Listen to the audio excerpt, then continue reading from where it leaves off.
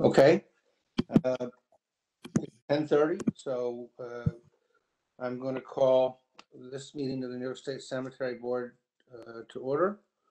Uh, I'm Mark Patterson, and I am uh, as chair for Secretary of State Rossana Rosado. Let me just remind people of a few of our uh, rules or new procedures. Uh, This meeting is being held remotely according to executive order, which our counsel will explain in a moment. Um, uh, Please mute your line when you're not speaking. Uh, That makes everything go a lot easier, uh, cuts down the background noise. Uh, When you are speaking, please identify yourself each time you're speaking. Uh, We need to, we, we are recording this meeting and we need to keep an accurate uh, record, so that's helpful. Um, We'll go through our regular agenda as has been posted. Uh, If we have an executive session, I don't think we will today, but if we do, we will uh, go into executive session without adjourning the meeting, and then we will come out of executive session, report on any actions or taken or not taken, and then vote uh, to adjourn uh, the meeting. We will have a public participation uh, opportunity for anyone who wants to speak to the board. Uh, And uh, if you are, and again, Tony will explain the rules, we appreciate if you uh, identify yourself, uh, but you're required to do it under certain circumstances. I think that's all I have. Uh, Let me just also, though, I think I forgot to do this last uh, special meeting, to make sure I introduce my colleagues on the board. Uh, uh, Jill, do you want to introduce yourself? Yes, hi, I'm Jill Faber, and I'm a representative of Attorney General Letitia James. Great, thanks. And Tom? Uh, yeah, this is Thomas Fuller, uh, representing Dr. Howard Zucker for the Department of Health. Great. We have a staff, uh, our director, assistant director, and other staff available, and our counsel. Tony, do you want to talk about uh, the rules in which- under which we're operating? Sure. So we are operating pursuant to Governor's Executive Order 202.1, which has been extended. Uh, Pursuant to that order, uh, Article 7 of the Public Officers Law is modified to permit any public body to meet and take action without permitting in public in-person access to meetings and to authorize such meetings to be held remotely by conference call or similar service, provided that the public has the ability to view or listen to such proceeding and that such meetings are recorded and later transcribed. Uh, This executive order has been interpreted to suspend the requirement that board members be physically convened or convened by video conference, to suspend the requirement that notice of the meeting include the physical location of each board member. We've given the public notice of the meeting and how to attend by video conference or by telephone conference. And the board agenda and board material have been placed on the Division of Cemeteries website. One final note, we are taking attendance. Giving your name and who you represent is voluntary unless you're a lobbyist, then you must identify yourself and your client. And we ask that anyone who does speak to the board identify themselves. That's it. Thank you, Tony. Uh, Again, we've uh, posted our agenda. Um, We'll uh, go back in a moment to our counsel for a report on any legislation or rules and regulations. Uh, Lewis Polishook will give the division a report, and then we will go through uh, uh, vandalism uh, report and vandalism applications, and then other applications to the board. So that will be our agenda. Uh, Tony, do you want to update us on uh, pending legislation or current legislation? Sure. There has been some activity since we last, well, since I last reported, not since we last met. I last reported a month ago, but we've met since then. Um, The first item is uh, number five on the list, Assembly 382. It's a one-house bill that would uh, include in the definition of uh, cemetery corporations to dispose remains by natural organic reduction, natural, natural organic reduction facility. Um, This bill has uh, advanced to third reading. Um, We'll see if it actually makes it through the Assembly and to the Senate. Uh, The next bill that has moved, this bill was actually uh, signed into law. Uh, This is the number nine on the list, Senate 866. I should, I mentioned the bill number, one of the bill numbers at least. I think I did. Number five was Assembly 382. That's the organic reduction bill. Uh, The bill I'm speaking of now, at nine on the list, Senate 866. Uh, This uh, relates to establishing a veteran cemetery, uh, modifies the requ- the requirements for that. Uh, It was, uh, it made it through both houses and was signed on February 16th. Next item on the list. So we have some new activity. Um, This is down near the end, number 16 on the list. Assembly 1598 was introduced and referred to corporations on February 11. Uh, This bill would modify the general business law to permit pet cemeteries to bury pet owner cremated remains for a fee, as long as certain disclosures are made. Our our regulations only permit them to bury uh, human cremated remains if they don't charge a fee. So that would alter our regulations or supersede our regulations. Um, Number 17 on the list, Assembly 5671. This is an old bill that has popped up again. Um, This would permit municipalities to impose certain charges on certain tax exempt property, including cemeteries. Uh, They would be for police protection, fire protection, street and highway, things like that. Um, Number 18 on the list. Uh, I think this is a new bill. I don't remember seeing this before. This also uh, relates to, or maybe we did see this before. This relates to veteran cemeteries as well. It provides a uh, funding mechanism, uh, a way to promote people to donate and contribute funds towards a veterans cemetery. That's Senate 4735. Lastly, uh, this is a bill I missed in the Assembly. It was introduced, no, missed in the Senate. Uh, This is uh, Senate Bill 1517. Uh, This would require a death certificate for any fetal death, regardless of gestational age, and would permit the mother to make burial, entombment, or cremation arrangements for the remains, again, regardless of gestational age. Uh, That was introduced in the Assembly on January 12th, introduced in the Senate on February 26th. And uh, that's all I have. All right, Tony. Uh, Anybody have any questions for Tony in his legislative report? Yeah, actually, I do, Tony. Um, natural organic reduction, are they talking about alkaline hydrolysis or something else?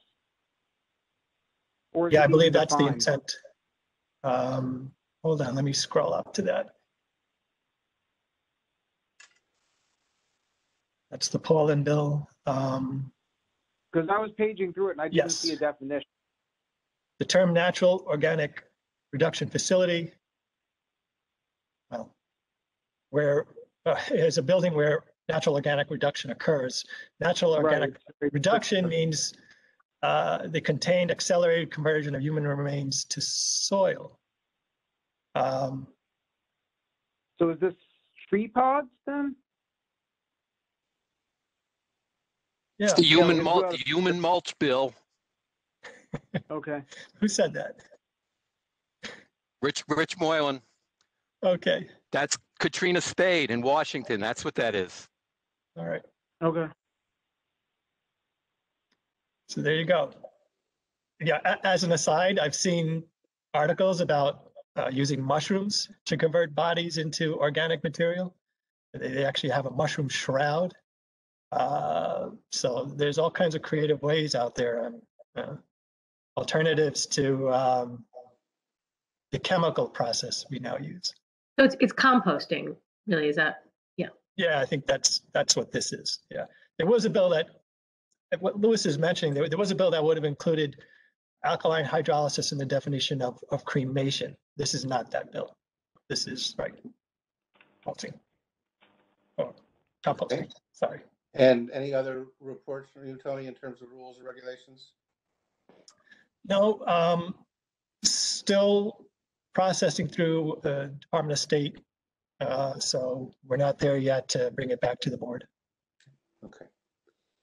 Uh, I neglected to note that uh, we usually approve the minutes. We just didn't get the minutes uh, uh, reviewed by everyone in time for the meeting, so we'll uh, bring them back to the next board meeting for uh, their approval. Um, uh, Okay, uh, so no other questions for Tony? Uh, Can we have the division report from Lewis? That would require, me to- that would require me to unmute, right? Yeah, It didn't work so well without it. Um, so first, everybody's favorite topic, cremation statistics. Um, cremations are still above average, uh, for 29, because compared to 2019, but are down. Um, we hit a high in this latest, uh, I don't want to say second wave because it's, I think technically, the way I understand it, it's not a second wave until you've had a mutation. Um, and the first, the increases in cases were fueled by just more people getting the same thing. But the second go round of increased cases of COVID, we hit a high of 75% above the 2019 average in the, first week in January. It's now come down to 38% above average. We're not seeing any delays to speak of anywhere outside of New York City. And even New York City, uh, the crematories are operating at only just a little over a, are booking out on average just a little over two days. I wouldn't regard anything within two days as really being a delay because people don't always book cremations. There's no right or even expectation to be able to necessarily bring in a cremation the same day. Um, so that's that's good news in the aggregate. Obviously, not good news for people who've lost family members, but on the in the aggregate, aggregate that's good news. Uh, by the way, that's last week's statistics. We don't get this week's until today. Um, second thing, our annual report is due March 31st. If you are on a calendar year, if your fiscal and calendar year are coextensive, so please get that in. Please try to use um, our online portal. It now allow again allows you to save your work as you go, which will make it much easier to use. Uh, number three thing, um, specifically about the legislation Tony was talking about, um, we got a call yesterday about human composting. And to be clear, there, if all you're talking about is burying a body in some creative way, and you're not going to be removing that body from the ground to do anything else, that's just a burial. You can do that although you might want to think about if you're promising things like trees and such.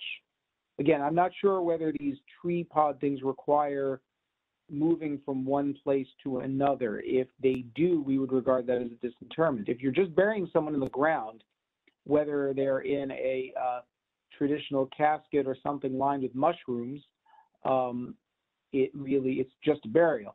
But uh, if you're making promises about what's going to come of that burial, I think it behooves people to think about things. Like, for example, if trees are involved, what's going to happen to that tree?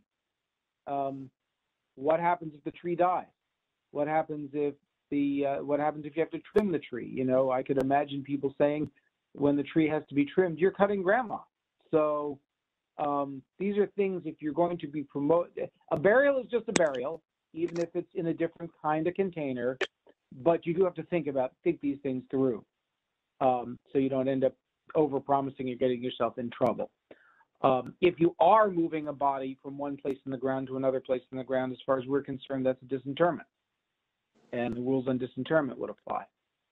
Um, then the last thing I want to talk about is we're getting a lot of calls about grave buybacks, both from individuals and from cemeteries. I just want to review, this should be pretty familiar, but I just want to review this. Um, first of all, I think everyone here knows you can't just, if you own a grave, you can't just sell it to whoever you want on the open market. You have to offer it back to the cemetery at a statutory price first. And if the statutory price is the original price paid plus 4% simple, i.e. not compounded interest if for each year since the purchase. And that's if the grave is is um, is vacant. Um, no, nobody's buried in the plot, even if it's a multi-grave plot. The way this works in practice is that people typically negotiate with the cemetery before making that formal offer to know whether the cemetery is willing to offer them more, willing to offer them that much. Um, but uh, and uh, you really ought to call and do that too. But unless you get a written refusal from the cemetery to pay at least that statutory price, you can't sell that grave to anyone else. If the cemetery refuses to pay at least that statutory price to reacquire the grave, then you got a year to sell it however you want to whomever you want, with the exception of you cannot use a broker, you cannot sell it via or to a funeral director, and um, there's a third exception that I'm forgetting. No brokers, no funeral directors. Those are the big two that you can't do. Um, so again, just just a reminder because we're getting a lot of calls about this. Also, one other reminder to cemeteries: you do not have to repurchase graves if you do not want them. If you don't pay, offer at least the statutory price, people can try to sell them to whoever they want, but that there's no obligation for you to reacquire graves. Conversely, there's no prohibition on paying more than the statutory price if the person is unwilling to sell it for just that price and you can actually make money by paying more than what the statute would require but less than your market price. So that that especially comes up downstate at cemeteries where particular cemeteries or particular sections are becoming full. So those are all just things to keep in mind. Again, we're getting a lot of calls about this. Um, and uh, there seems to be a fair amount of uh, misunderstanding. If you've got more specific situations, call us. I can't give general guidance beyond that. And that is all I have. Lu- Lu- Oh, Lewis, uh, we have guidance posted on our website on that? The short answer is I think so. I'd have to double check. Okay, and uh, I didn't actually prep you for this, but uh, at the last meeting, we had a fairly extensive conversation about the Ulster County Veterans Cemetery, and uh, that's not on our agenda. What's the status of that? Um, my understanding, I'll defer to Tony on this. My understanding is we're waiting for them to clarify exactly what the outline of their, the transaction is going to be. I, I can let you know, um, Mr. Doyle from the county, uh, he and I got into a, a very brief game of phone tag. We haven't been able to speak. So he has reached out to me, but, uh, we haven't had a conversation yet. Um, hopefully it's, hopefully it's a call to say they've got it all resolved or any issues are minor, but, uh, I'll, I'll let the board know. Yeah, I just I mean, remember there's some time deadlines that we were concerned about, or they Yeah. Uh, one other deadline to remind you, remind you guys of and us in particular is that we owe you something on uh, Southern Tiers compliance. Uh, we don't have that ready for this meeting. We plan to have that ready for the next meeting. Um, I also want to sorry, I, this wasn't on the agenda. I just want to add it because I saw it in the paper yesterday. Um, in June or July, I forget which of 2019, the board approved a renovation project um, at uh, Woodlawn Cemetery in Canandaigua uh, for their chapel. Um, and it got a, the chapel project got a really nice write-up in the Rochester Democrat and Chron- Chronicle, um, um, I believe on Monday. So, uh, our, our, the work that the board does, does sometimes, I mean, they didn't reference us, but this project got a fair, a nice bit of press. Uh, Okay, I muted myself in the stream, sorry about that. sorry. Does any board members have any questions for uh, the division, uh, the division report? Okay. I one, I just have one additional comment on um, that bill, the composting bill. Um, It's been a while since I, I looked at this, but, you know, my memory is that the businesses that do this, they basically have a building and, and the, the remains go in with soil in a unit in that building. It's, it's kind of like a columbarium type setup. And so the composting occurs above ground. And once the body's fully composted, then the soil and all the, everything that's in there gets put in the ground. So um, it's, I guess you could compare it to like an ossuary where, you know, remains are put in, like they do this in Southern Europe a lot. Put in an ossuary until they've reached for, for a number of years and then they're finally put in the ground after that. Um, so that's, that's my recollection of what the process would be like. I'm gonna have to look up that word. Okay, anybody have questions for Tony or Lewis on their reports? Uh, Alicia, do you have the vandalism report? I do. Uh, The 2021 calendar year vandalism collections are $195,455. Assessment collections are $108,879. Fiscal year collections from April 1st, 2020 are vandalism, $270,150, and assessment, 153,629. Of the $2 million 2020-21 vandalism fund appropriation, $171,925.24 was paid on outstanding vouchers for applications approved in the 2018-19 fiscal year. $550,551.31 was paid on outstanding vouchers for applications approved in the 2019-20 fiscal year. And $526,764.08 was paid in vouchers for applications approved in the current fiscal year. Uh, vouchers on previously approved applications totaling $193,320.11 have been processed by DOS fiscal office and are pending payment. There remains $138,912.96 of funds committed for prior year's applications and $189,020.80 committed for applications approved in the current fiscal year, leaving $239,615.46 available for future applications. We have a total of $258,525.48 going before the board today. Uh, there are two applications in the pipeline for approval, total $42,435. And we have six applications going before the board today. Thank you, Alicia. Does anybody have any questions on Alicia's vandalism report? Okay, so I'm going to move to the vandalism applications.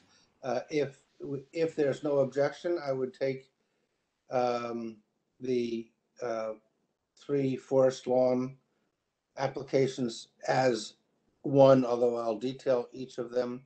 Because I think all the issues that were raised before are the same. Uh, One is for St. Matthew's Cemetery in Erie County in the amount of fifty-three thousand, two hundred ninety-two dollars fifty cents.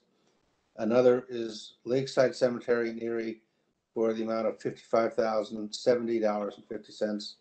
And the third is sixty-six thousand, three hundred and thirty-five hours, uh, totaling the total of one hundred seventy-four, six ninety-eight in uh, hazardous monument fund applications. Uh, Can someone from the division present those uh, and where there are differences or if there are any differences between the three?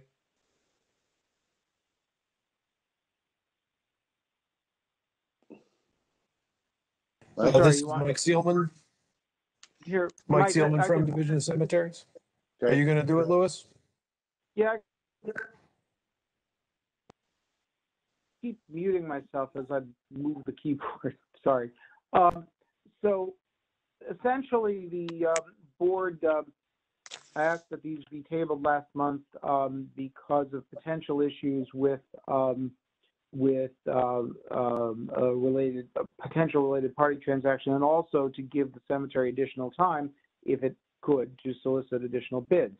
So the cemeteries attempted to do that. Um, they got one additional bid that is way higher than both their own bid and the bid from uh, their employees' relatives company. Um, and uh, they also so they've submitted information about that. They also clarified that of the three bids they had last time, one of the three bidders does in fact um, perform do their own foundation work. Two of them don't A little background fact. I don't know how relevant it is. Um, and uh, the president of the cemetery submitted a letter explaining that there the time, if any, for consideration of uh, Revitalization Act issues would be when they actually contract to do the work, and they represented they will in fact comply with all the related party provisions when they do that. Um, the president does make clear that he's aware that the lowest bid is from a company um, whose uh, the owners of whose relative is an employee of the cemetery. They're submitting their application based on this bid because it's the lowest bid and because they don't believe it's appropriate for them to ask the state for more money give, be, simply because this guy's family owns the company that is submitted the lowest bid. Uh, they now have three bids, the cemetery's own bid, uh, this company's bid, and a third company's bid, and they're asking for the lower of all three for all three cemeteries. And we're recommending approval. Okay. Uh, Tony, do you have any issues uh, regarding these applications? Um, you know, I'm, I'm glad the cemetery was able to get another bid. Uh, it justifies the low bid. Uh, just to clarify what Lewis said, um, the uh, conflict of interest and related party provisions of the NPCL doesn't require a not-for-profit to take a higher bid. It requires it to do due diligence when it's going to be uh, potentially engaging with a related party. So um, I think for today's vote, we're, we're good with the fact that uh, they did get another bid from a, an unrelated party. Okay. Um, I don't know if there's anybody, any questions for the, or any additional information to be provided from either the cemetery or any questions from the board members? None from me. No, none here. Okay. So I'll make a motion um, to approve the the three bids from Forest Lawn, subject to appropriation. One uh, is an application to St. Matthews for fifty-three thousand, two hundred ninety-two dollars, fifty cents. Another from Lakeside Cemetery, fifty-five thousand, seventy dollars and fifty cents. And the last one uh, in the amount of sixty-six thousand, three hundred and thirty-five dollars uh, totaling uh, an application package of one hundred seventy-four dollars, one seventy-four thousand, six hundred ninety-eight dollars. Uh, All those were in Erie County. Do I have a second? I'll second. Thank you, Tom. All in favor? Aye. Those three motions uh, carry. Thank you. Uh, Next is uh, an abandonment application. Uh, I guess this is a little bit of a wrinkle from the town of Oswegatchie uh, in St. Lawrence County and in the amount of twenty-four thousand seven hundred twenty-five dollars sixty-eight cents. And Lewis, uh, someone presenting that to the board? Mike will give the details. I just want to preface this by saying I was unable to get clar, this, it's unclear to me that this even needs board action. Uh, but we had a similar situation come up with Whispering Maples and I was unable before today to get clarification from our Bureau of Fiscal Management as to whether they would require an actual formal modification of the board order. Uh, will give the details, but essentially what happened here is a couple of items on this abandonment, which is a very large abandonment, kind of like Whispering Maples. It's the other mausoleum-only cemetery in the state, and it's now in town of Oswegatchie's property, or town of Oswegatchie's business, um, has come in for a very large application. Most of the things that they did came in under budget, but one or two items are coming in over budget. And we had an issue at Whispering Maples where we couldn't pay the over budget things with the under budget amounts without the board clarifying that that was okay. So hence we're back here. Mike, you want to give the details as to those things that came in under and those things that came in over and what the, what the net, the net is that we're saving about a little over a grand. But you, Mike, you want to give the details? Yes, this is Mike Seelman with Division of Cemeteries. Um, the town of Oswegatchie took over the Foxwood Mausoleum complex in two thousand fifteen, and they came to the division for, uh, uh, with an application for uh, several, um, repairs to the grounds and equipment. Uh, the division approved five hundred and four, or the board approved five hundred and four thousand, six hundred ten dollars and seventy-four cents for various, um, items. The town has done the work. Uh, and they were able to come in twenty-eight thousand, five hundred thirty-nine dollars and sixty-seven cents under budget on uh, the, the, the major, um, repair was a roof. Uh, they submitted a bid for two hundred and were able to get the work done for two hundred and twenty-one thousand. So they were under budget on the, that. Uh, they had repairs to a culvert, um, office equipment, uh, lift for, uh, the mausoleum, uh, and other equipment as well as, uh, sidewalk repair. They came in twenty, twenty-eight thousand five hundred thirty-nine dollars under budget. On the other end, they had, uh, a flooring issue where the actual cost was twenty-seven thousand three hundred and sixty-eight dollars higher. So we do have a difference, and the request is for the, uh, the town to, uh, reallocate some of the money that they have saved from the items that came in under budget and apply them towards the, uh, flooring in the truck, which came in over budget. Uh, the end result is, um, rather than the five hundred and four thousand, six hundred ten dollars and seventy-one cents, the total is still under budget at five hundred and three thousand, five hundred seven dollars and fifty-three cents. And we would just ask that, uh, the town be able to reallocate funds. And the division recommends that this be done. Uh, Thank you, Michael. The twenty-four thousand number is the amount of money that's being reallocated to different projects. That's correct. Does anybody have any, oh, Tony, do you have any issues with this, uh, uh, I don't mean issues. Are there, do you have any comments on this application?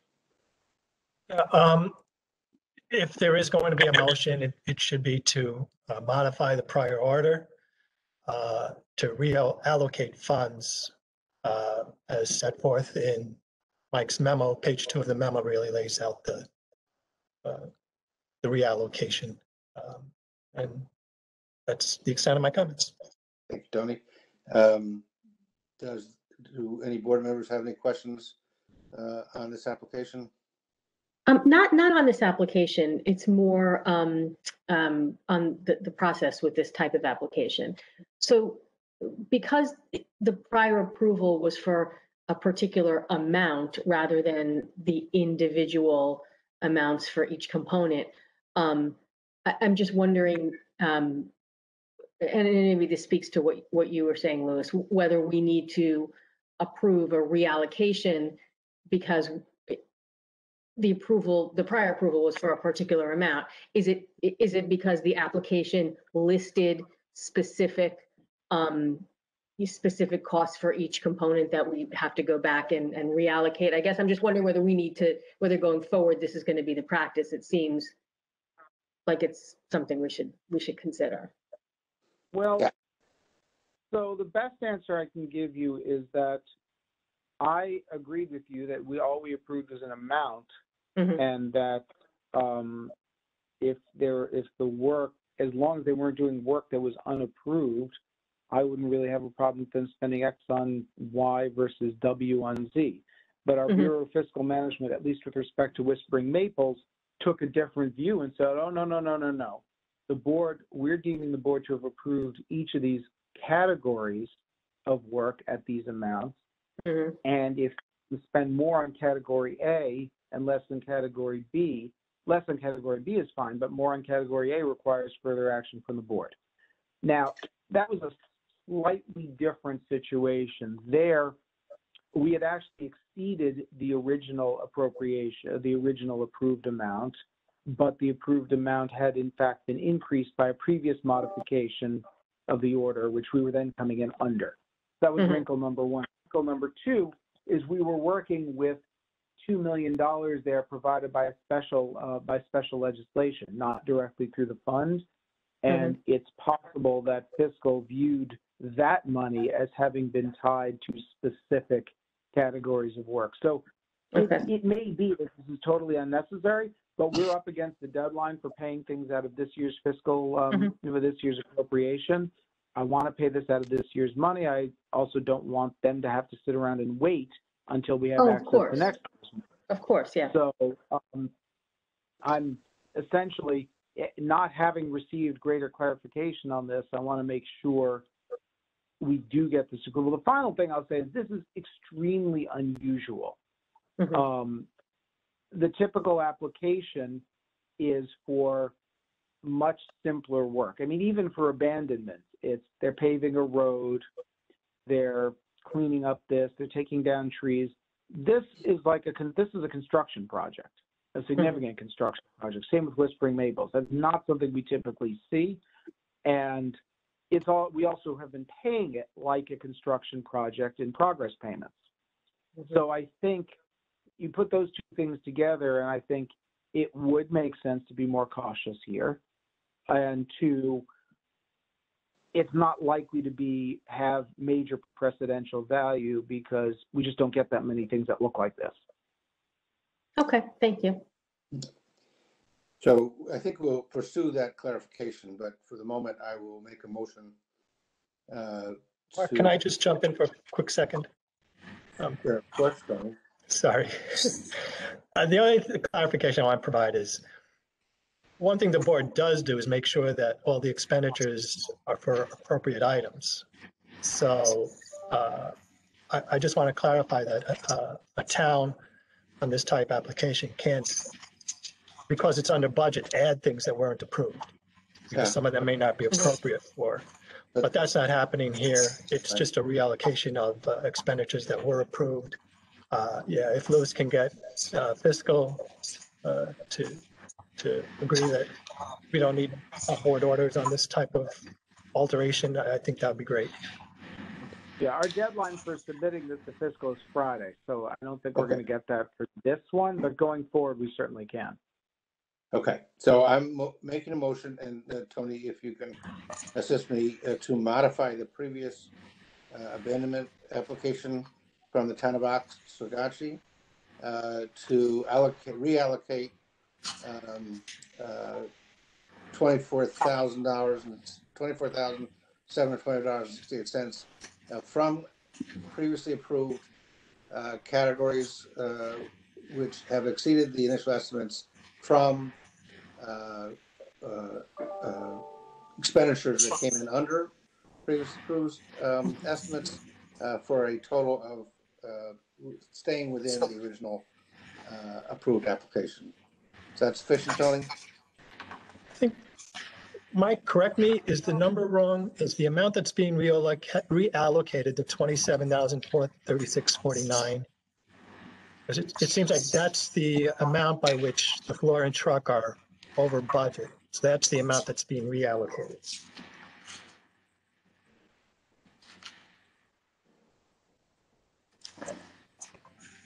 Yes, I, I believe that's correct. Okay, That was the amount, that was the amount that went over.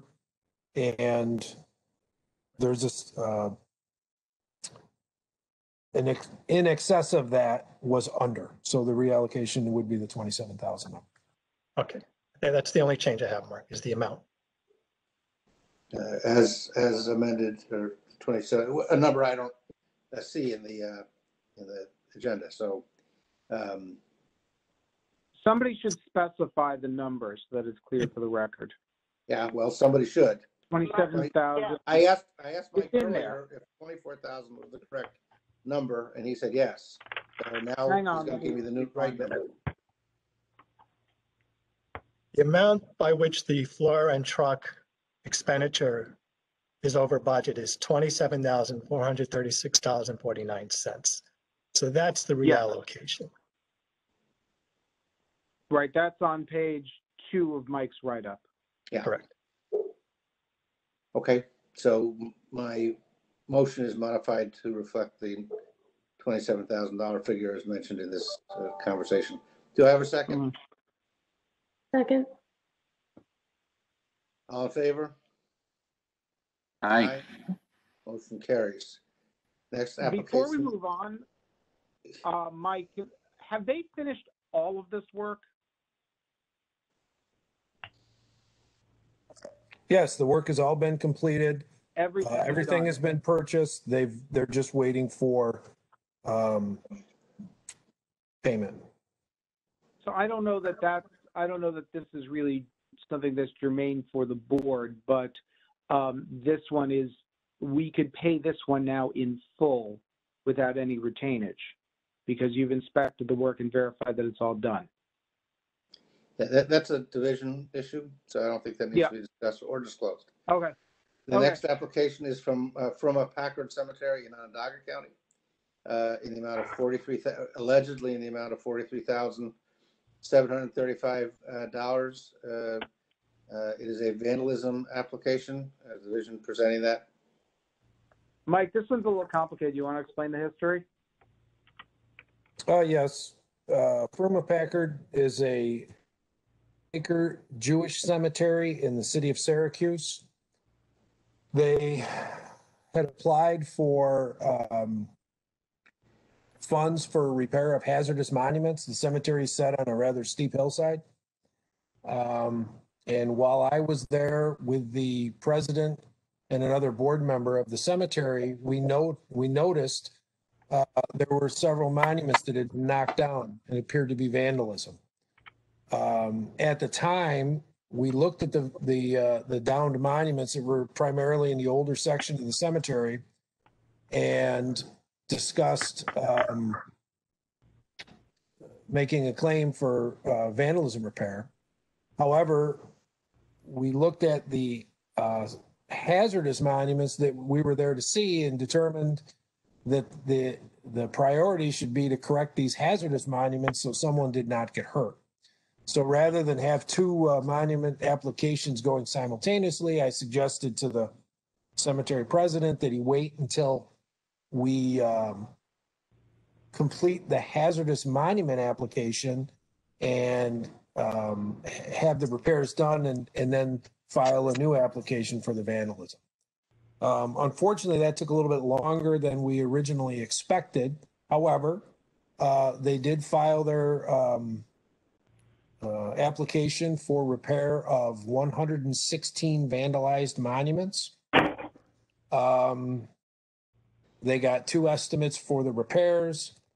Um, I've seen the monuments, uh, two times, uh, when we initially discovered that they were down, and then again uh, this year uh, when I was reviewing the uh, the repairs to the hazardous monuments. Um, this is a pretty straightforward application. However, uh, the cemetery requested that the uh, requirement for the police report uh, be waived, and they have a detailed letter uh, explaining that they feel that um, publicizing the vandalism would be bad for the outlook of the cemetery. Um, I've noted that in the report and um, discussed that with the cemetery president. Um, one thing I'll add is uh, th- this is the only non-affiliated Jewish cemetery in Onondaga County. And I think that comes into play because being unaffiliated with a synagogue, they don't have specific records um, that they would have as far as um, uh, decedents and the, descendants of the decedents. Um, so the division has recommended uh, approval for forty-three thousand seven hundred and thirty-five dollars for this vandalism claim. This is, I'm just going to add, this is a little bit unusual uh, in several respects. And I, I want to focus, because I know counsel raised an issue about the fact that the, about the advertisement. Um, the cemetery should be on, on the call, uh, on the meeting and should be able to provide additional information, but um, we, generally speaking, um, I, you know, legal notices are not going to be something that's a lightning rod for for negative press. But the flip side of that is, and we'll talk about this more probably when we get to Glenside. It's extremely rare. Glenside actually is one of is maybe an exception, but it's extremely rare that a cemetery that publishes a legal notice on an application, either for vandalism or hazardous monuments, ever gets any kind of response. I can maybe remember one or two cases in the last seven years where that's happened. Um, on the other hand, in this case, the records that the cemetery has, these are all old burials. The odds of them having any current contact with any of these families are pretty slim. Like Mike said, it's not a synagogue affiliated cemetery, so it's not like the families might still be around. Although, frankly, with synagogue affiliated cemeteries, when you're two or three generations out, the odds are the synagogue is going to have no way of contacting the family either. So our, our recommendation is still for approval. Um, again, I don't, I don't think that any further attempts of, what's the statutory term? Um, losing it now. Um, um, any further, I'll just paraphrase, any further attempts to try to track down people who might conceive, and even, let me add one more thing, is even when people do get tracked down, it's, I can't remember a single case in which a family had, was either willing to provide funds to restore the uh, vandalized stone or had insurance that covered the stone. Lewis, I Um, think you've neglected to explain why we do that anyway. What's the purpose of uh, looking for Um, lot owners? We tr- oh, we okay, attempt so to get take a step back. lot owners to pay for the repairs themselves first. Right. I mean, generally, right. Generally speaking, the maintenance of a monument is the lot owner's responsibility, not the cemetery's responsibility. Where we generally want a cemetery to try to find the lot owners and seek in some form or another and seek payment for them in some form or another before we're willing to write a check ourselves. And I, I was looking for the, not finding right now the statutory language, but there is language um, that has, that addresses cemeteries trying to, yeah, the cemetery has to be unable to obtain funds from the lot owner within a reasonable period of time. That's in the statute. Um, for those of you keeping score at home, it's fifteen oh seven parentheses H parentheses uh, five uh, parentheses IV. Okay, is that, you finished, Lewis? Uh, yep. Yeah, okay, thank you. Uh, Tony, do you have uh, comments on this application? Yeah, um, so as far as the timing requirement, um, I think the cemetery's in good shape. The, the hard requirement is notify the division within 30 days of discovery of the vandalism, which they did. Uh, there's a six-month requirement of completing an application, but that's, can be extended, and the division extended that. Um, But the issue of notice is very separate. Uh, the, the statute does permit um, the cemetery on the consent of the division to not file a police report. That's right in the statute. There's nothing that says that the division can consent to not giving or attempting to give notice to the lot owners. Um, As Lewis points out, cemeteries don't own the monuments. They're owned by the lot owners. Um, that's why in each case here, uh, whether it's vandalism or a dangerous monument, there's a requirement that they reach out to the lot owners first before they come to us for these funds. And uh, the regulation says, um, in the event that damage was done to a crypt niche, gravesite, monument, or memorial, the cemetery must provide written notice to the lot owner or next of kin if the identity and whereabouts is reasonably ascertainable. It describes what should be in the notice, and it should advise the lot owner to seek insurance benefits under their homeowner's policy. And actually, you know, a, a homeowner's policy is more likely to cover an act of vandalism than a, a, a- monument that's tipping and dangerous.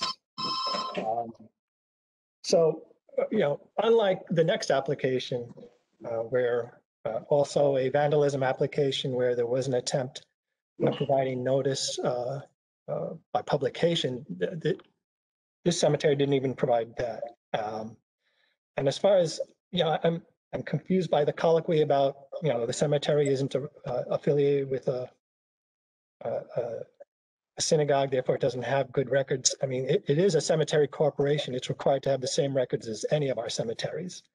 Um, So that factor is, does not affect its duty as a cemetery corporation to comply with the notice requirements. Um, And they haven't. So, just by way of clarification, I, I guess we'll probably talk about this more when we get to Glenside. Um, I'm on, uh, two things is I'm unaware of a situation where we've had a vandalism application where there has been no legal notice published. This would be unusual for this to be approved without a legal notice. On the flip side, I'm unaware of a situation in which we've had, where we've actually required cemeteries to do anything other than publish a legal notice. Because in the vast majority of situations, uh, where unless the grave that was vandalized is a very recent burial, the cemetery is not going to have useful contact information for um, the uh, for the family. Um, it's been a very it's very rare. I can think of a couple of cases where cemeteries were able to find uh, uh, vandal families of, of of headstones that are vandalized. And in any event, um, I can't think of a single case in which a family was willing to come forward and pay. I maybe there was one case where a homeowner's policy covered it in seven years, but other than that, I can't think of a. Uh, maybe there was one time where that happened. For what that's worth.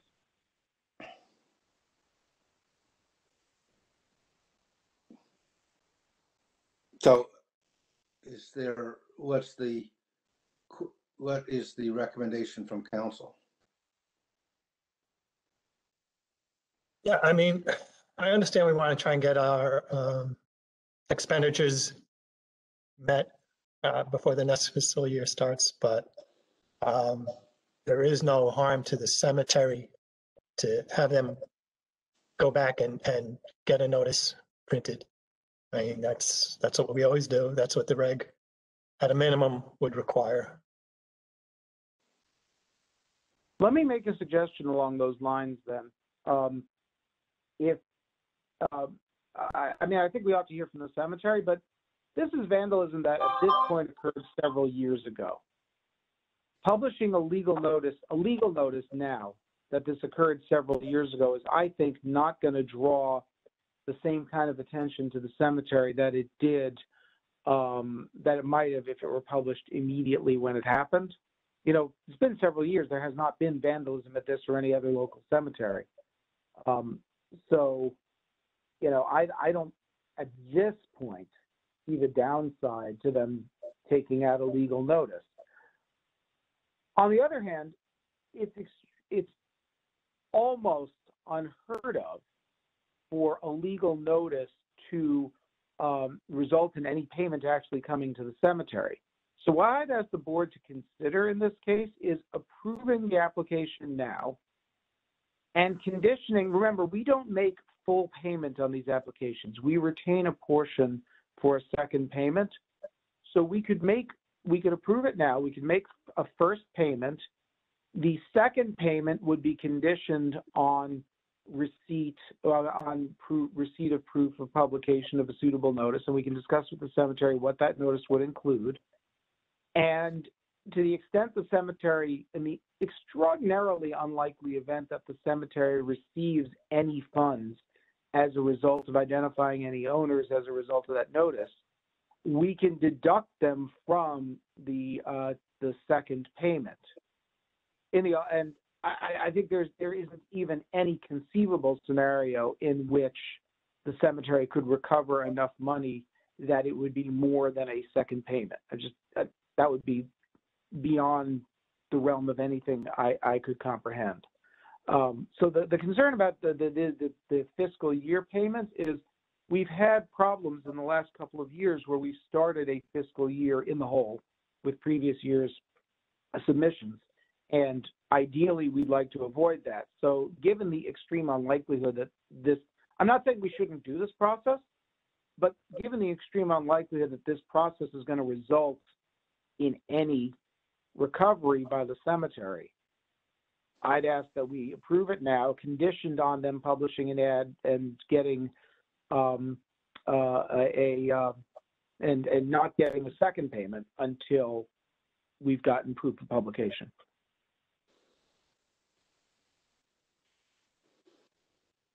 Is the cemetery on the line or available? Uh, Or? Hello, this is this is An- this is Andy Dvorsitz. I'm the president of From Packard. Uh, feel free to, to, uh, to comment on what you've heard so far or the, your application. Um, I, uh, you know, I appreciate, you know, your, your time and consideration and, uh, I, I think that, you know, if, you know, the money means a lot to us, uh, and we need it and we'd like to go forward and, and, um, you know, I would, uh, uh, certainly, um, you know, we would certainly agree to, uh, publicizing, although we didn't want to.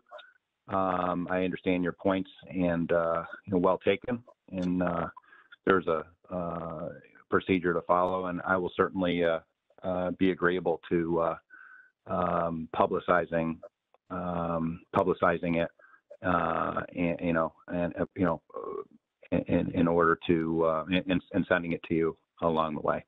So.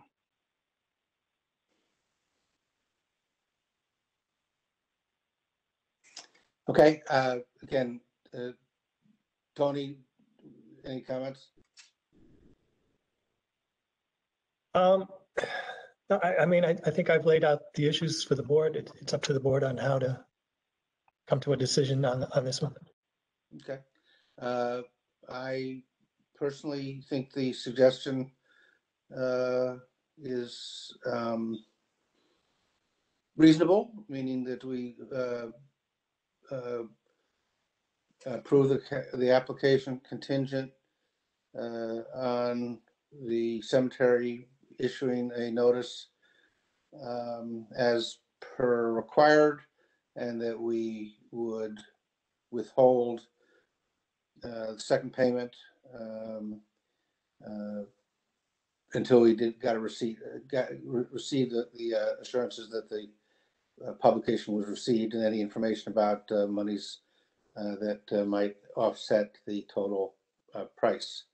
Is, I think that's clear. Um, uh, Do I have a second? Um, I- I- can I just, um, just ask a question? How long would the, the process of publication take? I mean, if, if the cemetery were to undertake to do that now, um, and then, you know, show us proof that that was done, how, how long, how, how much does that delay moving forward? Uh, a couple of weeks, but it puts us into the next fiscal year. Okay. Well, I'm Um, gonna say, I mean, the- in the normal course of things, that process will be done well before we'd be prepared to make a second payment anyway, because they have to do the work. Mhm. I mean, I- I Right. think the board's comfort level has to be with the proposal as, as meeting the requirements and securing the, the problems as Tony's outlined. The issue of fiscal year is secondary, although, you know, it's obviously important to, uh, the division and, and the agency, but, uh, you know, unless the board was comfortable with that, then I don't think that that would be a good idea. I am comfortable with it, thinking that it, it, it solves the problem without, uh, but it still maintains uh, us requiring what is required, so. But that's, I think that's the discussion. I- I don't, I Yeah. want to make sure we don't let the fiscal year issue drive the, Mhm, mhm. uh, unduly drive the. Right.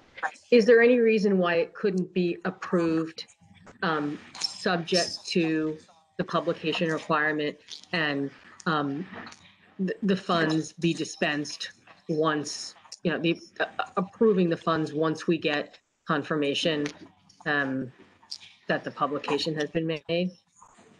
Other than the fact that that will put it into the next fiscal year, no.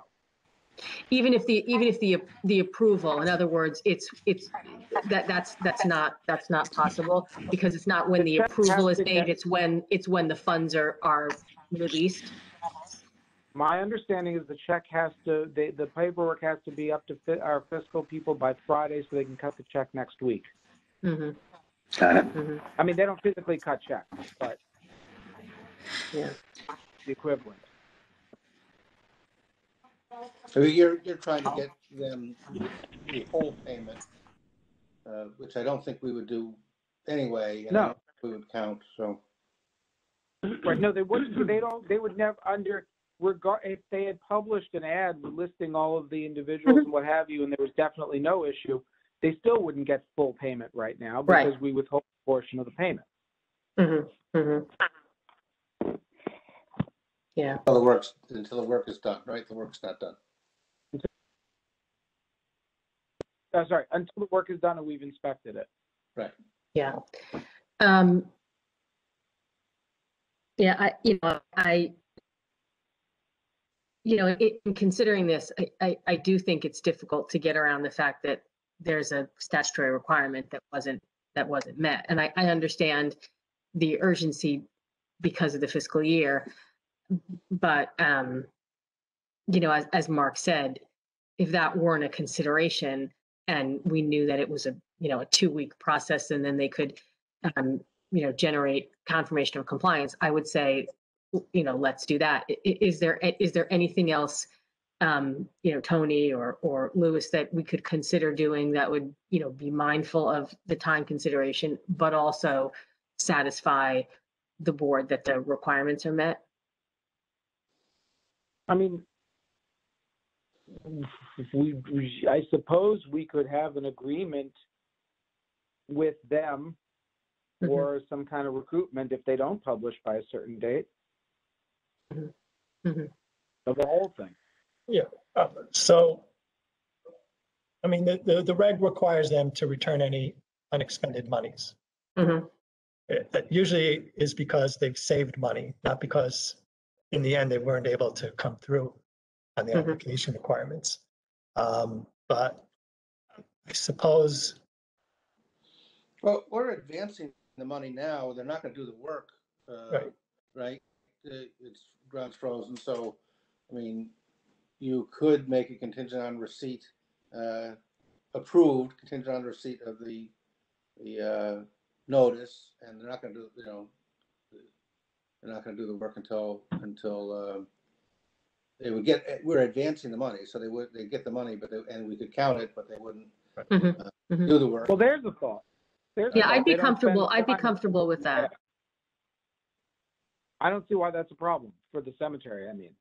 I mean, because they can still contract and, you know, go forward and make preparations, but, um, but if the funds are not, you know, I, I- I, I would feel comfortable if, um, there was an agreement that we would, before the funds were spent, we would receive that confirmation.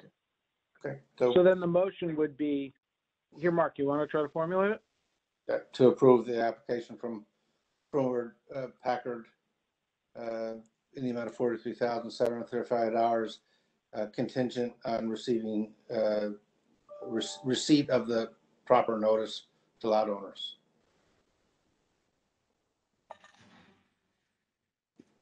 Uh, I- I mean, Contingent on receipt, of- With the understanding that uh, they won't expend the funds until we receive the um, we- we're, we- we've given the order. Notification, right.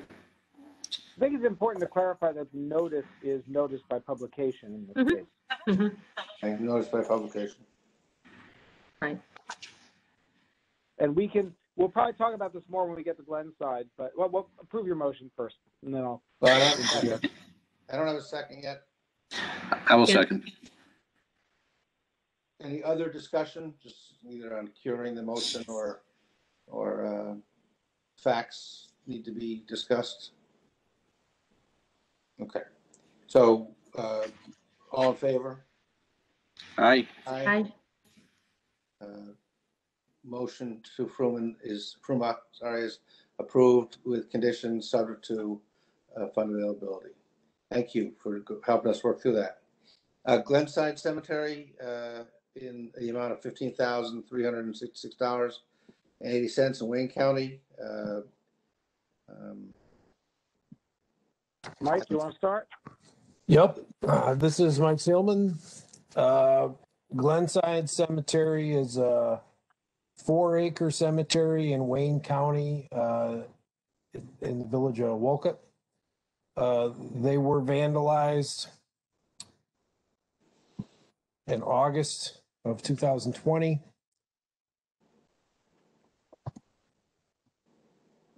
There were sixty-five monuments that were, uh, Um, they did receive a police report. The police uh, do not have any leads, um, and no arrests were made. Uh, they think that it, it was, there were kids congregating in the cemetery, uh, in kind of a secluded area. They think that likely led to this. Uh, since then, the cemetery's made some changes to, to, to keep loiterers out of the cemetery. Uh, they have their two, uh, estimates. Uh, we recommend approval, uh, the amount of, uh, fifteen thousand, three hundred sixty-six dollars and eighty cents. Um, again, this cemetery posted, uh, a legal notice to try to, uh, contact lot owners. Um, however, the format of that legal notice wasn't exactly what we were looking for for a, a vandalism, uh, legal notice. Uh,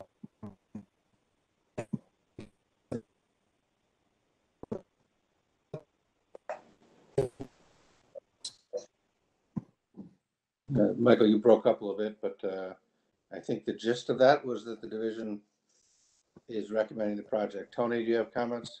Yeah, just, let me just clarify a little bit. So the legal note, the main thing the notice didn't have is it didn't list the names of the, the, the lot, the graves vandalized, and it didn't list the locations. Um, in this case, the cemetery actually got two responses from families whose, whose plots were the subject of the vandalism, both of whom said, we don't have any money to pay for this. So in this, so taking a step back, as we read it, the statute and the regulations don't specifically say you have to list the names of the lot owners. We, as a matter of course, expect to see that um, because there was vandalism at X Cemetery isn't nearly as useful as there was vandalism at X Cemetery and Smith and Jones's plots were damaged.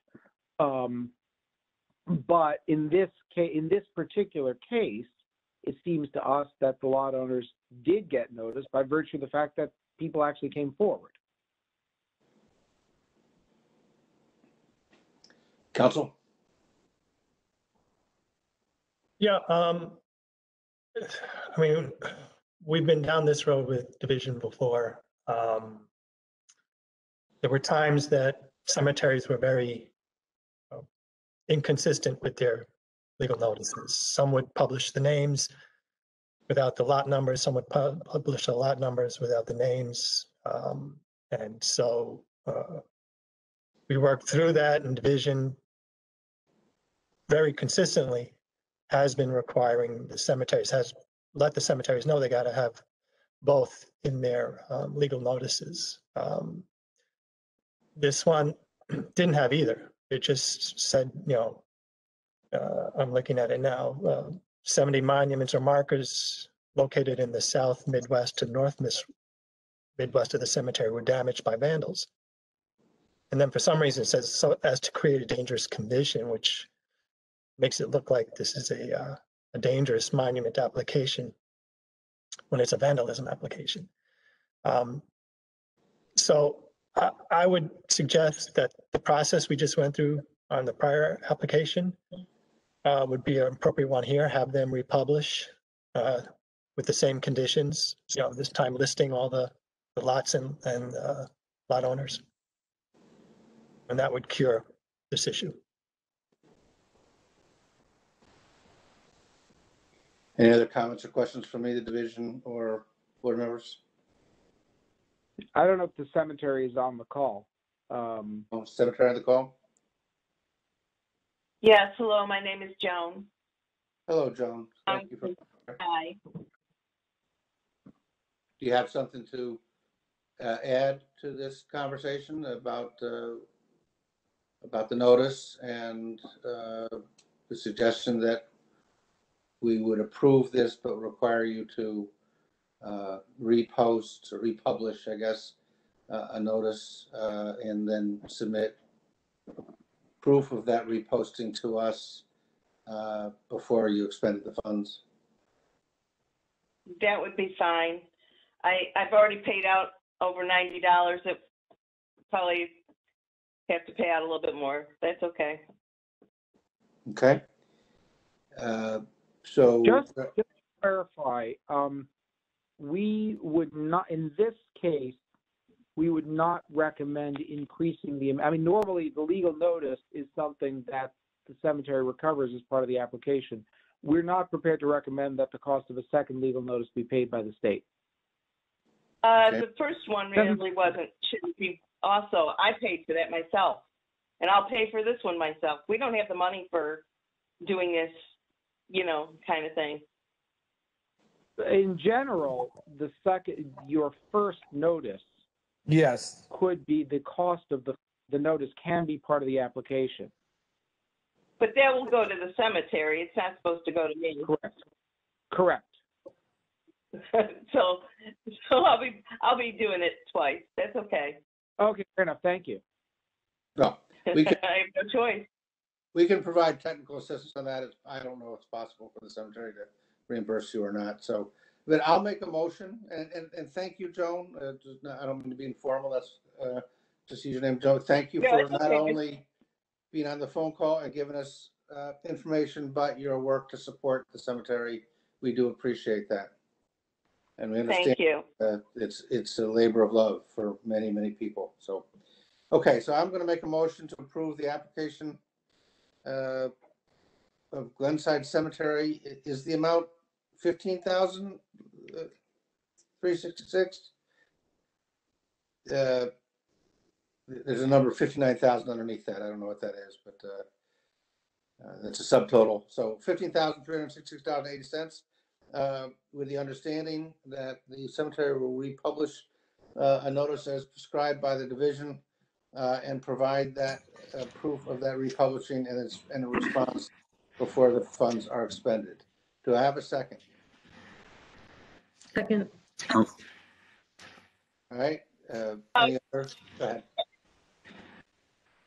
And we will get, um, a format that I can follow, please, because I don't, We will work with you to make sure you've got the proper, proper uh, notice. uh, I appreciate that. Thank you.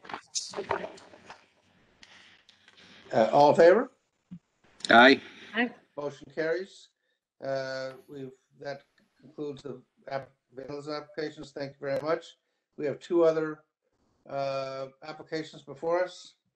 Um, uh, What, the first is uh, Riverhurst Cemetery. Uh, It's a columbarium application. I don't know where Riverhurst is, but can the division present that? Binghamton. Binghamton, thank you. Yeah, this is, uh, this is Brendan Stanton with the Division of Cemeteries, uh, the Riverhurst, uh, Cemetery of the Town of Union, uh, Broome County, uh, which is where I live incidentally, um, has applied for the installation of a ninety-six niche columbarium unit. Um, they recently, uh, within the past three years, I believe it was approved in twenty eighteen and installed in twenty nineteen uh, uh, put in a, another columbarium unit. Um, this area is earmarked for five total columbarium units. Uh, this is unit number two of the five. Um, the first one is, has been selling well. Um, they have, uh, you know, interest already in this uh, next unit. Um, the foundation was already poured as part of the first uh, installation. Um, they also have uh, the pathways and everything else is already there. Um, uh, they've posted the the notice as required. There's a little bit of a wrinkle, um, but a sufficient amount of time has passed uh, as of the fifth um, from the time that it was posted and stayed posted. Um, so on that basis, uh, I recommend approval of uh, the installation of this columbarium unit. And they're paying for this out of their general fund. That is correct. Um, Any other issues uh, with the application? Uh, uh, Counsel, do you have any questions about the Riverhurst application? Yeah, um, my questions are generally about, um, cemetery, not so much about the application. Um, they seem to be struggling to, um, come up with a surplus each year. They, they, they've, they've had deficits. And Brendan has indicated in his report that, um, their costs seem high. Um, Well, so one of my questions, is that they, they report rental income. Do we know what that rental income is, the source of that? Yeah, they've purchased a few houses on the adjacent streets, um, and, and, uh, I guess with, uh, with the intent, if they need to expand the cemetery, they can do so, but at this time, they rent those out for, uh, there's houses on them and they rent them out for income. Do we know if uh, they came to the board for approval to purchase that land? They did come for approval to purchase the land, uh, back when these were purchased. Okay. And then the, the next question I have, um, well, you know, one of the things I, I noticed is their, um, their wage expenses all over the place, uh, from a low within the four years that are reported of eighty-five thousand to a high of hundred forty-five thousand. Is there any, do we know why? It's such, um, it varies so much. Uh, this is Andrew Hickey, uh, senior accountant. My thought on the wages, Tony, is, and, uh, Riverhurst may be on the call, but they've, they're transitioning from one type of management style to a different. Um, I, I think in general, the wages will be going down. I think there could have been some, uh, separation payments in there, but it's the trustee's current assertion that the management costs will be material lower 2020 and going forward. And then my last question uh, is, um, you know, sometimes when we see a cemetery with unusually high expenses, there's related party transactions going on, whether it's, you know, accounting, legal, um, you know, they're, they're using somebody, a related party to do the mowing, the digging. Do we know if that's an issue here, if there are any related party transactions going on that might have resulted in inflated costs? Uh, again, this is Andrew Hickey, senior accountant. Uh, at this point, we're not aware of any related party transactions that's that's driving that.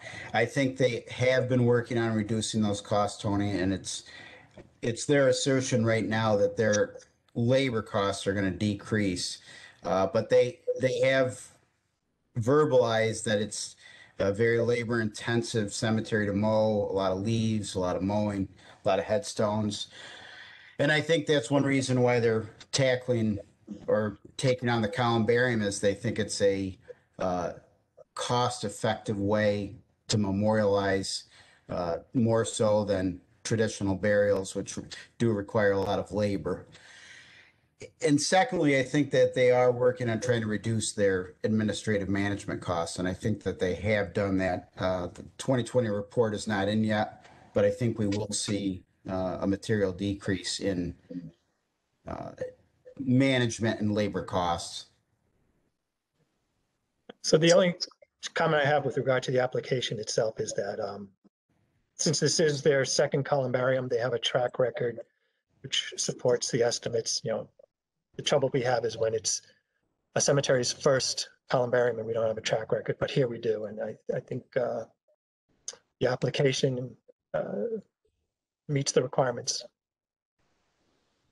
Okay, Uh, so, uh, any other questions, uh, on this application? Uh, Riverhurst, if you are on the line, you can, are welcome to speak if you want to. I'll take that as no, or the on the line. So I'll make a motion to approve the application from Riverhurst Cemetery in Broome County for the addition of a columbarium. Uh, I don't have the number in front of me, a price number, but, uh, uh, I don't think that's terribly relevant. Uh, Do I have a second? I'll second. Seconded. All in favor? Aye. Aye. Motion carries. We have an application from Pine Lawn Cemetery for major alteration fuel tank replacement division. Yep, that's me. Um, so what's going on here is Pine Lawn's got a maintenance area. It's kind of smack in the middle of the eastern section of the cemetery. Um, it's in an area that's fenced off and uh, not really visible from the road. They've got their garage there and a whole bunch of other things, dirt pile, what have you. Um, they, uh, I should say one of their garages. I'm pretty sure they have multiple garages. Um, but they have an in-ground tank, uh, which my understanding is before my time, we were encouraging all cemeteries to get them out of the ground. Um, generally a good idea because you don't want in-ground tanks leaking. So they're doing that. They've gotten in, uh, they've got from working with them on it. They've got now their uh, local permits. Apparently, it's uh, the DEC sets the standards, but the local, but Suffolk County and the town are actually the permitting authorities here, and they're prepared to take it out. They're going to be putting in above ground tanks instead, and um, this is going to again. There's no burials anywhere near there, and it's treed off and fenced off from from the rest of the cemetery. Obviously, we think it's a good idea to undertake a project that improves the environment, so we're recommending approval. Uh, the whole thing's coming out of general fund, which the cemetery has ample general funds to cover the cost and without noticing that they've even spent the check. Uh, Okay, counsel? Yeah, um, the only thing I note here is it looks like the contractor um, has a duty after removing the underground tank, uh, a duty required by uh, DEC to test to make sure there were no spills. Uh, I recommend that uh, we require the cemetery to provide division with the results of those tests so we, we can be sure that there were no spills uh, during this process. Other than that, I have no, no comment on the project.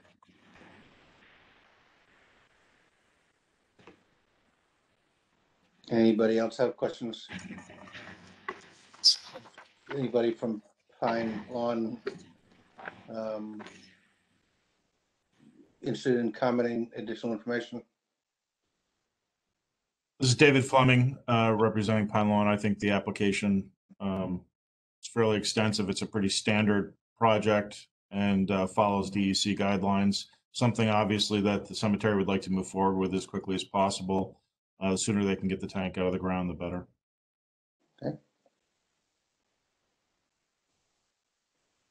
Okay, uh, no other questions? Uh, I'll make a motion to approve the uh, uh, application for major alteration for a fuel uh, tank replacement.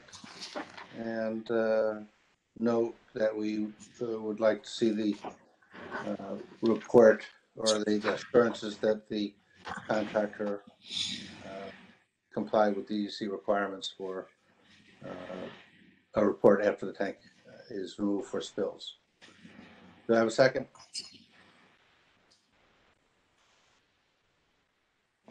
I'll second. Tom, thank you. Any other questions? All in favor? Aye, Aye. Aye.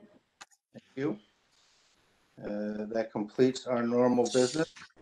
Um, uh, We are at the public comment period. Uh, Does anyone from the public like, wish to address the board on this, these or any other uh, issues? Mr. Chairman, it's Dave Fleming from the New York State Association of Cemeteries. Um, David? I'll, I'll, I'll butt in before you go to the next meeting date, but I wanted to say that, um, on the uh, composting legislation that was talked about, uh, NYSAC has been involved in the discussions on that, uh, bill. Um, it's not, a piece of legislation that came from NYSAC, but we have been involved in discussions with the sponsor.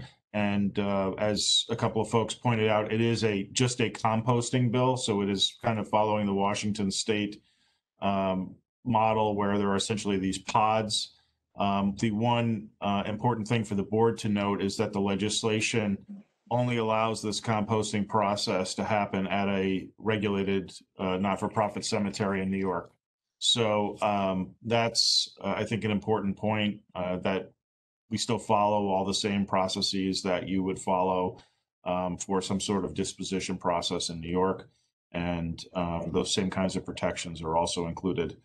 Um, and as far as the resale of graves uh, questions that Mr. Polishook was discussing, and he's getting a lot of calls, I'm getting a lot of calls too um, at the association. So we're going to uh, we're going to republish uh, on our website, social media as, um, as well, and send out a broadcast email to our members on, uh, we have an article that was published about a year ago in our magazine that kind of outlines the process and, and shows how it's been streamlined by the board and the division. So we'll uh, be sure to share that. Hopefully that'll alleviate some of those uh, questions to the division.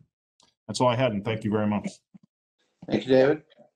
Any other members of the public or uh, uh, from our s- member cemeteries wishing to address the board? If not, the next meeting would be uh, uh, April, tell me what? Lewis?